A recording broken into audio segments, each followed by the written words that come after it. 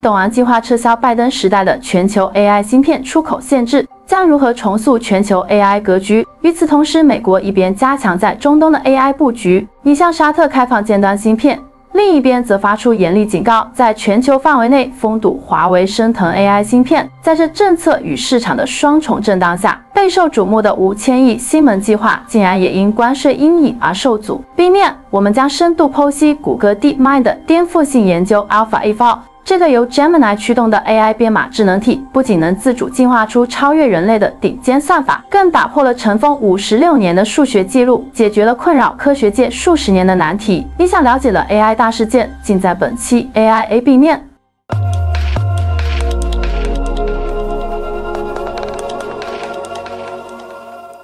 AI 芯片出口政策巨震，特朗普政府大笔一挥。准备废除并替换掉拜登时代那个让人头大的全球 AI 芯片出口限制啦！美国商务部发言人发话了，说拜登那套 AI 规则过于复杂，官僚气十足，还会扼杀美国创新，所以他们要整个更简单，能释放美国创新力，确保美国 AI 霸主地位的新规矩。想当初拜登政府可是花了四年功夫，又是分三六九等，又是各种设限，就想卡住中国获取先进芯片的路子，保住自家 AI 老大的位置。这套人工智能扩散框架原定五月十五号就生效，把全球划成三档：第一档十七国随便买，第二档约一百二十国限量供应，第三档嘛，中国、俄罗斯、伊朗、朝鲜这些重点关照对象就别想了。但董王可不吃这套，觉得这分层系统根本没法执行，还破坏了跟几十个国家的外交关系，把人家降级成二等公民。所以新方案可能要抛弃分层，改成全球许可制。各国政府之间一对一谈，虽然针对中国的限制大方向不变，甚至可能加码，但其他国家，特别是那些被拜登规则卡脖子的，比如阿联酋、沙特，还有像甲骨文这样在马来西亚有大数据中心计划的公司，这下应该算是松了一口气。大家还记得几个月前那个号称要投五千亿美元的星际之门项目吗？如今却因为担心特朗普的关税政策可能让成本飙升而拖延了好几个月，投资者们也望而却步。想当初，软银的孙正义和 Open AI 的奥特曼在特朗普就职次日的白宫简报会上可是信誓旦旦要立即部署一千亿美元，未来四年还要加码到五千亿，在全美各地建起多达二十个巨型数据中心呢。据说两家公司跟瑞穗、摩根大通、阿波罗全球管理和博丰资产管理等几十家贷款机构都进行了早期谈判，但至今没敲定任何交易。TD 看文的分析说了。进口税可能让数据中心建设成本平均上涨百分之五到百分之十五，服务器、机架、冷却系统、芯片都逃不掉。再加上经济衰退的阴影和市场波动加剧，投资者对这种烧钱的数据中心项目自然是三思而后行。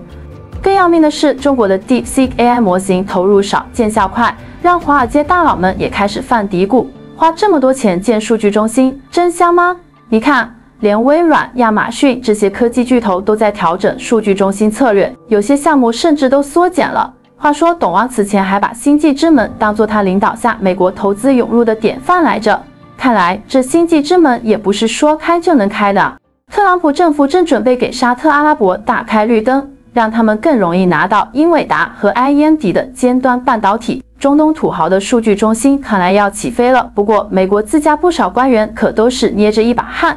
生怕这些宝贝疙瘩最后便宜了中国，所以虽然两国政府初步达成了共识，但细节还在死磕。核心就是怕中国通过物理转运或者云端接入的方式拿到这些芯片，所以有个条款正在讨论，就是美国政府要亲自下场控制那些用了美国芯片的数据中心。至于怎么控制、什么条件下向谁开放，现在还是个谜。这还只是美国在中东战略布局的双响炮之一，另一发可能稍后在阿联酋引爆。至于为什么和拜登相比，董王更乐意把美国高科技往海湾国家送，原因之一也是他在那有不少人脉和生意，而且海湾主权财富基金也没少给捐钱。白宫 AI 顾问大卫·萨克斯强调，既要严防死守先进芯片流入中国，也不能耽误跟合作伙伴做正经生意。其实从2023年起，美国就要求向中东卖 AI 芯片得先拿许可证，主要就是怕技术落到中国手里。沙特和阿联酋之前跟拜登团队也谈过来着，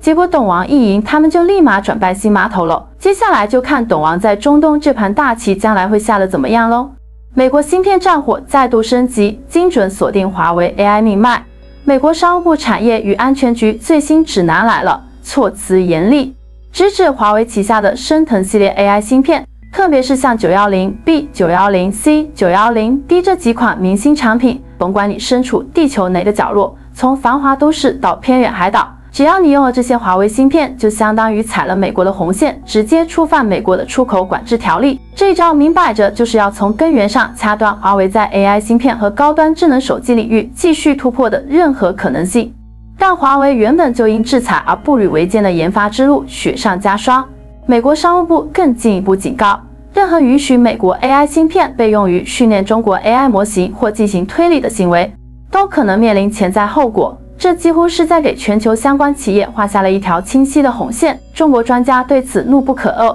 直斥这是赤裸裸的长臂管辖和典型的霸权主义行径，不仅粗暴干涉市场运作，更试图剥夺其他国家自主选择技术的权利。就连微软联合创始人比尔盖茨都忍不住站出来说，美国这种技术封锁反而会像催化剂一样，倒逼中国在芯片制造等关键领域全速前进。事实上，即便在美国如此严密的围追堵截之下，华为凭借其升腾芯片集群，在某些关键计算和内存指标上，已经敢于宣称能与英伟达的同类产品掰掰手腕。这也导致现在美国不得不进一步进行全球范围的恐吓和围堵，就看华为能否在如此逆境中突围喽。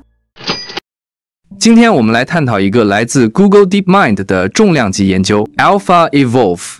它让 AI 不仅能写代码。还能自主进化出比人类顶尖智慧更优的算法，甚至还能解决困扰数学家几十年的难题。传统的算法发现和科学探索耗时耗力，且高度依赖专家的灵感和经验。虽然大语言模型展现了惊人的代码生成能力，但要让他们自主发现全新的、可验证的，甚至超越 SOTA 的复杂算法，依然是一个巨大的挑战。而 AlphaEvolve 的核心思想借鉴了生物进化论，通过不断的变异、选择和迭代。让算法像生命体一样自我完善，最终进化出更强大的形态。那么，AlphaEvolve 具体是如何实现这种算法进化的呢？首先，一切始于任务定义。人类专家需要明确我们要解决什么问题，比如找到更快的矩阵乘法算法之类，并且提供一个自动评估机制。AlphaEvolve 支持在代码中通过特殊的注释标记来指定哪些部分的代码需要被进化。接下来，进化循环的第一步是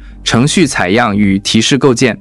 AlphaEvolve 会从一个程序数据库中挑选出一些表现优异的附带程序和一些灵感片段。这些被选中的程序，连同关于当前问题的描述、先前尝试的经验教训，甚至是相关的科研文献，会被精心组合成一个丰富的上下文提示。接下来是创造性代码生成。接收到提示后，LLM 集群开始发挥创造力。这里 AlphaEvolve 巧妙地使用了 Gemini 2.0 Flash 和 Gemini 2.0 Pro 的组合。Flash 模型速度快，能产生大量多样的候选代码，负责广度探索；而 Pro 模型能力更强，能提出更深刻、更高质量的修改建议，负责深度挖掘。第三步进行自动评估，新生成的子代程序会被自动执行，并通过之前定义好的评估函数进行打分。第四步，程序数据库更新与进化策略，经过评估后。表现优异的子代程序及其得分会被记录回程序数据库。这个采样、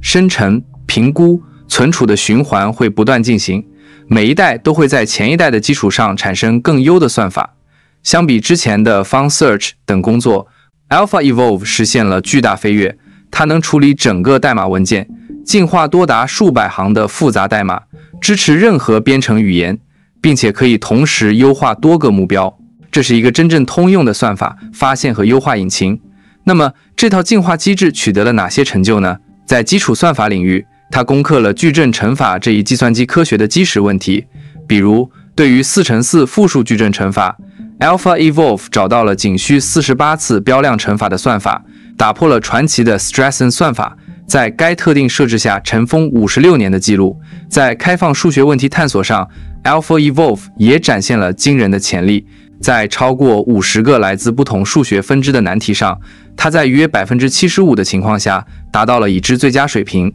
更在约百分之二十的问题上发现了全新的、更优的构造。比如，它改进了十一维空间中的接吻数问题的下界，找到了能让五百九十三个单位球同时接触中心球的构造。随着大模型能力的不断增强，AlphaEvolve 或许将为我们解锁更多未知的科学奥秘，并带来颠覆性的技术革新。你对 AlphaEvolve 有什么看法？欢迎在评论区留下你的观点，别忘了点赞订阅。我们下期再见。